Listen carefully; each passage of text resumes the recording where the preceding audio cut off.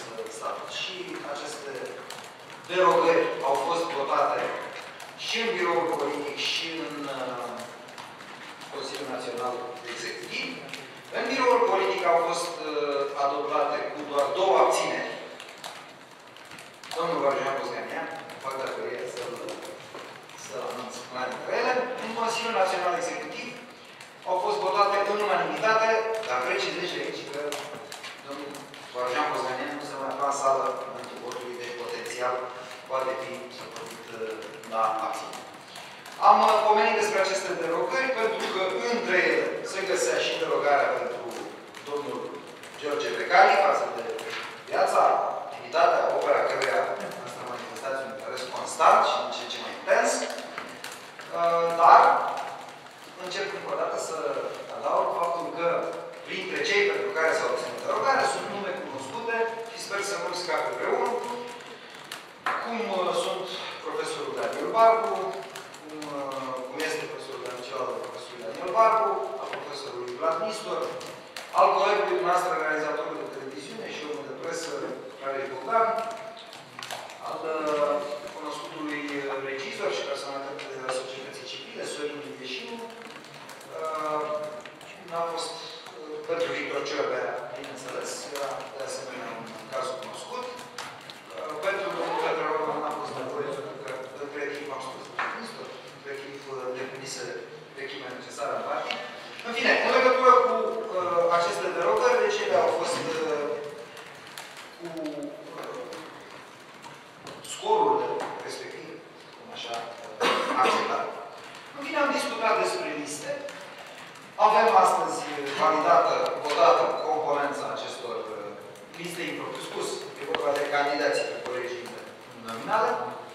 Uh, orice întrebare aveți aplicată în această privință va primi un răspuns.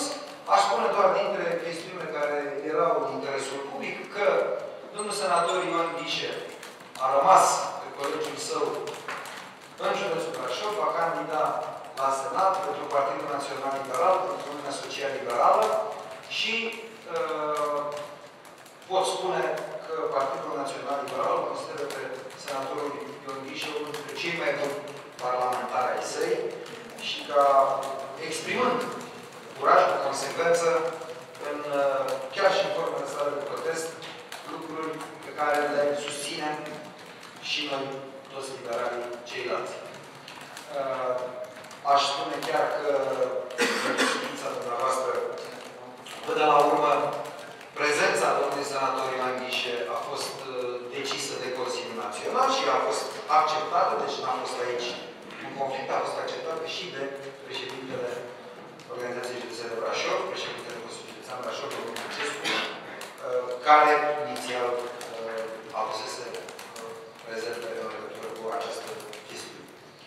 De asemenea, un principiu pe care ne l-am anunțat este acela că marea majoritate, dacă nu cumva aproape toți uh, cei care au fost în funcții sau uh, și-au păstrat colegii, și-au păstrat mandatul, avem nume noi, sperăm să avem cel puțin o treime din corpul parlamentar liberal alcătuit din oameni care nu au mai fost în Parlament, așa fel încât să putem construi un grup liberal cu o forță uh, ca număr, dar și din punct de vedere al calității, fără precedent în uh, perioada de după 1990. Aceasta este ținta noastră, acesta este obiectivul nostru ca partid.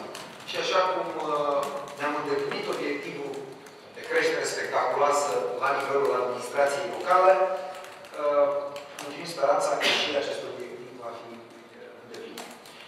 Cel mai important lucru este acela că, pentru noi toți, acela ca Uniunea Social Liberală să obțină un scor de valoare, ceea ce înseamnă că și pentru liberal, desigur că și pentru partenerii noștri, numărul de mandate parlamentare obținute să fie mai mare. Aș mai adăuga un singur lucru înainte de a vă invita să ne puneți întrebări, dacă doriți mie și colegilor mei, pe care nu am mai prezentat datorită ridicatului grad de celebritate. Aș mai spune că, din câte am înțeles la un moment dat că a circulat în discuțiile și în comentariile dumneavoastră, s-a discutat, s-a alăturat demiterea președintelui de la sectorul și dizolvarea organizației de la sectorul de tema pe care nu niciun fel de legătură, absolut niciun fel de legătură, atunci când s-a discutat în biroul politic central săptămâna trecută despre acordul cu Gigi Becali, domnul Vladimir Isescu, ca de altfel nici altcineva, nu au votat împotrivă. Mi se pare, dacă nu greșesc chiar cu Vladimir Isescu, cel care a propus ca președintele partidului să fie mandatat să facă discuții cu aceștia.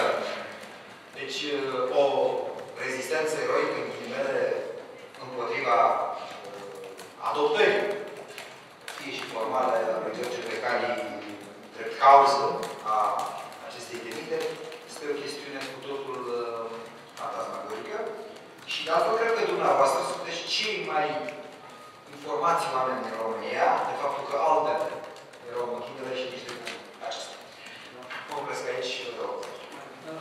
puteți spune atunci care au fost motivele pentru care trei dintre filiale au fost astăzi uh, trimiși în funcție? Da.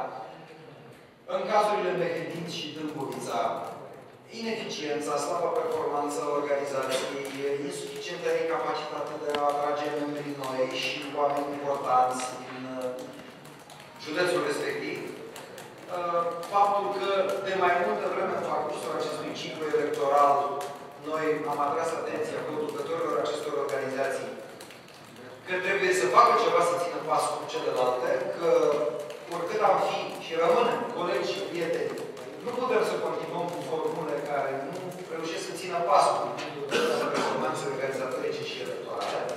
În cazul sectorului 1, îndelungata, intensa și deja bine cunoscută activitatea pe care uh, oamenii aflați în uh, fruntea acestei organizații au desfășurat-o în contradicție cu strategia, cu interesele și uneori cu deciziile Partidului Național Liberal. Uh, noi uh, suntem uh, niște oameni care, noi liberali, în general, avem tot felul de forme de pluralism și diferențele de opinie, exprimarea lor liberă, publică, ceea ce este apanajul Partidului Național Liberal. Toate celelalte partide vă spun că au așa o regulă. Și anume că se ceartă în interior cu uh, puncte de vedere uh, diferite, dar în afară nu spun nimic despre asta. Tradiția noastră asumată este că putem și nimeni vreodată nu a fost sancționat sau pus în discuție sub niciun președinte sau sub nicio conducere a PNL, dacă și-a spus și public părerea divergentă față de deciziile care s-au luat. Sigur, avem cu toți obligația de a respecta aceste decizii. Dar ieșim afară de sol și spunem s-a luat o decizie proastă. O să o respect, dar e proastă. Asta este, repet, din punctul meu și al tuturor colegilor mei, o bogăție a Partidului Național Liberal, notă specifică la care eu nu va renunța niciodată. Nu vorbim despre așa ceva. Vorbim despre faptul că este de neacceptat nicăieri, și în orice caz noi nu vom accepta, ca în vreme ce un întreg partid cu toți oamenii săi, se mobilizează, dă o bătălie politică, așa cum a fost cazul la referendum, dă o bătălie politică în numele milioane de oameni, unii dintre noi să trădeze. Cuvântul e spectaculos, dar până la urmă e simplu. N-a uitat nimeni ce s-a întâmplat la referendum, în plină campanie electorală, când domnul Chiliman a găsit cu care să citească proclamații scrise de Dan Andronic, probabil, sau de ucenici din școala acestui maestru care a norocit pe toți de la Năstase la Băsescu trecând prin Delicianu. N-a uitat nimeni cum domnul Vlad Moisescu ne-a calificat pe toți drept grup infracțional, cei drept într-o convorbire privată la care, cum știți, prin grija unora pe care domnia să-i cunoaște mai bine decât noi, a ajuns presă. Și nu poate nimeni să ignore faptul că atunci când pornește o bătălie, Poți pleca cu trădătorii în rândurile tale. Dar pentru că nu știi. În momentul în care îi știe toată lumea. În momentul în care îi vede toată lumea, îi pui într-o postură ridicolă și descurajezi și oamenii care, pe care îi chem să vină după tine. Eu am pus problema la fel de tranșant, mă pun în fața dumneavoastră și am cerut în sensul acesta o decizie. Pentru că nu avem cum să dăm bătălia cu adversari atât de puternici și nu avem cum să câștigăm această bătălie mai ales, dacă nu avem acest minimum de coerență. Cu diferențele noastre, cu disputele noastre, cu competițiile noastre care sunt absolut firești, putem să lucrăm la aceeași unitate cu adversarul politic timpul războiului. Vreau, vreau să vă mai aduc la cunoștință, pentru că am uitat și vă cer scuze și dumneavoastră și domnii sale, s-a mai decis uh, tot în unanimitate, sunteți colecționar în scor, s-a decis tot în unanimitate. Așa s-a întâmplat azi, au fost mai multe unanimități, nu, nu este un oficial nostru. Uh, ca domnul vicepreședinte Rareș Bănescu să fie coordonatorul național al campaniei electorale pentru alegerile parlamentare în 2020. Domnul Moisescu spunea că urmat trădat și că scorul scos de sectorul 1 la referendumul pentru demiterea lui Traian Băsescu a fost de 41% mai mare decât media pe București, celelalte sectoare. Aveți și alte, nu știu, argumente, dovezi că sectorul 1 a trădat?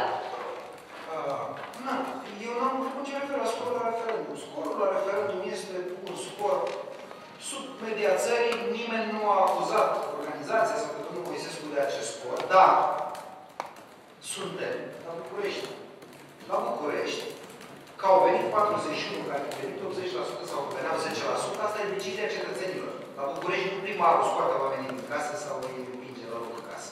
Deci să nu ne legăm de rezultatul la referendum, că acolo atât au venit bucureștenii. Foarte mult. De altfel, pentru anotimpul, momentul și boicotul care au marcat aceste alegeri. Deci, nu e vina, nu e meritul domnului Moisescu. În legătură cu argumentele, discuția, să știți că nu s-a purtat la tribunal, s-a purtat într-un for politic. Și credeți-mă că în acest for politic toată lumea știa de mult ce se întâmplă. Și cred că e în discuție. Bună ziua, domnule președinte, Marius Tian și Vreau să vă întreb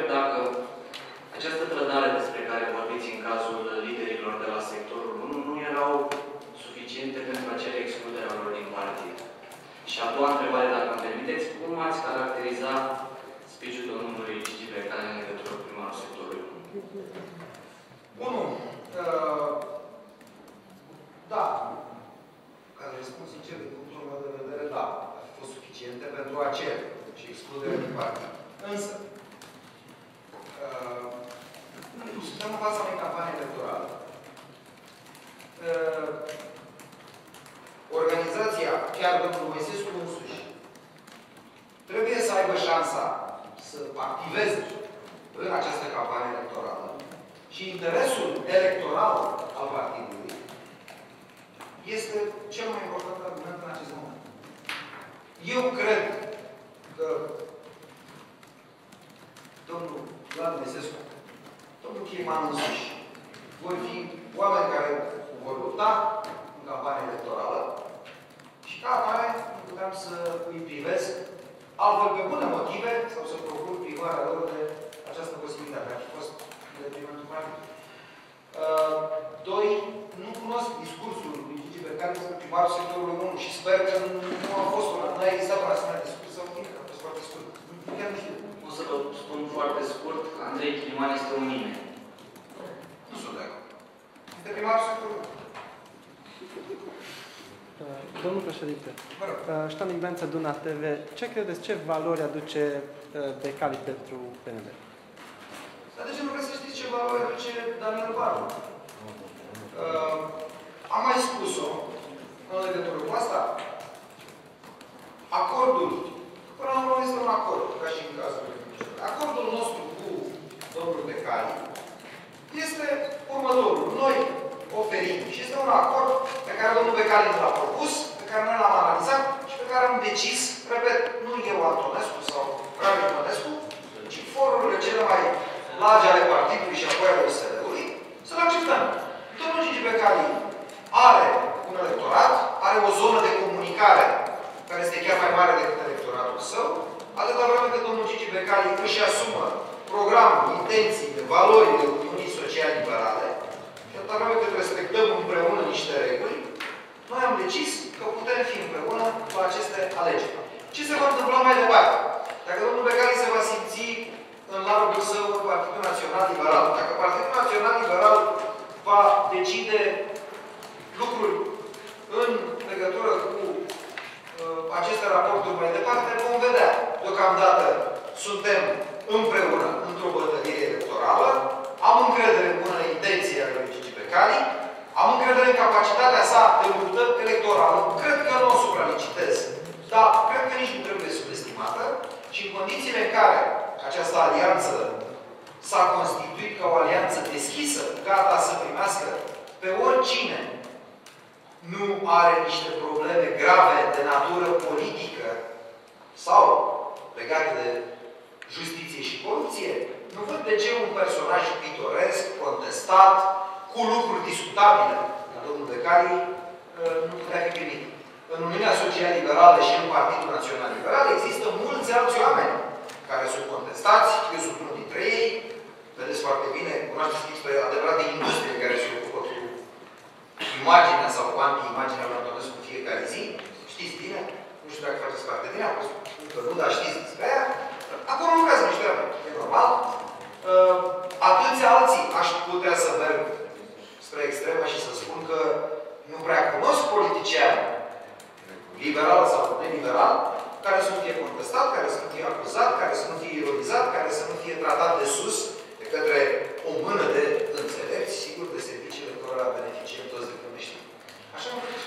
E simplu. Asta este. Nu e vorba, încă o dată o spun, o spun apăsat, o spun privind pe oricine în ochi, nu a fost vorba și nu va fi vorba de nici o înțelegere de natură financiară între Partidul Național Liberal, între mine ca președinte, între Rare Ionescu ca președinte al organizației care i-a dat acest loc lui Gigi Becali și domnia sa. Eu știu că sunt oameni care scriu, care recită, care plâng, care râd și nu sunt stare și nu au fost în stare niciodată în 20 de ani să facă chestia asta fără bani. Noi nu avem nicio treabă cu banii în această relație cu Gigi Becali. Absolut niciuna. Că Gigi Becali, sigur, va, își va finanța în limitele legii propria campanie în colegiul său. Asta e ceva normal. Dar nu există niciun leu între Partidul Național Liberal, între mine sau oricine altcineva dintre colegii mei și Gigi Becali. Uh, Doamnă președinte, aveți trei foști premieri pe listele de candidați ale PNR, pe listele comune ale USL. Ne puteți spune unde va candida domnul Petre Roman și domnul Victor Ciorba? Și... O pot spune cu siguranță. Și doi, uh, a spus că sunt 26 de derogări. Uh, câți parlamentari care au intrat în ultima vreme din alte, au venit din alte formații politice, au beneficiat în momentul de față de aceste derogări? Da. Uh, haideți să vă spun în legătură cu premierii. Domnul Cărin Popescu Tăniceanu va candida acolo unde domnia sa până la urmă a ales să candideze și acolo unde nimeni nu l-a împiedicat, noi am făcut o negociere cu PC-ul și am luat pe la apoi colegiul respectiv. Uh, deci n-a existat uh, în niciun fel vreo confruntare care vindejește domnul Moisescu, domnul Chiliman, ajută să ne tragă domnul Orban să fie determinat conducerea partidului. Vă punctul imediat. Uh, domnul Petre Roman va candida pe un colegiu de deputați în municipiul Brașov, iar domnul Victor Cerbe va candida pe un colegiu de deputați în sectorul 2 al capitalei. În legătură cu cei care au fost parlamentari și au venit de la alte partide, încerc un efort din Partidul Democrat. Îl avem pe domnul senator Ovidiu Marian, care este președintele Comisiei Buget Finanțe și în acest moment, care va candida la Arad cu colegiul său. Cred că va fi în competiție între alții. Mihai Răzvan Gureanu.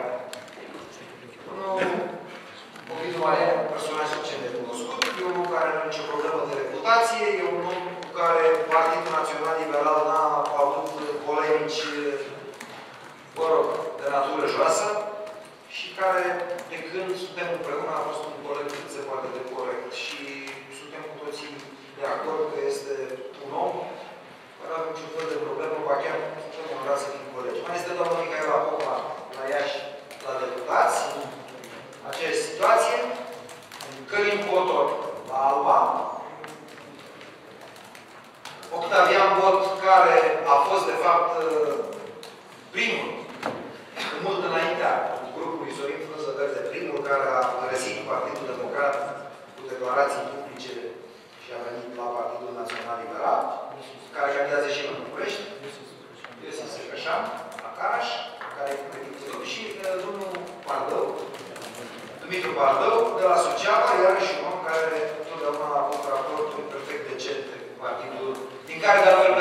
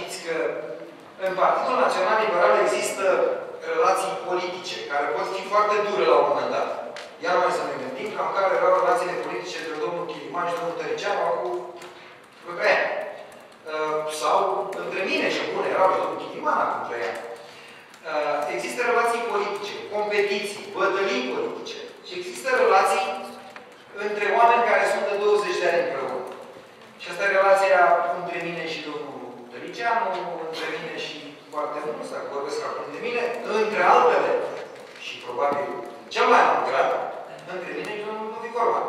Deci, uh, dacă nu a existat și mi-a trecut moment din capul spun discuție candidatura lui Ludovic Orban.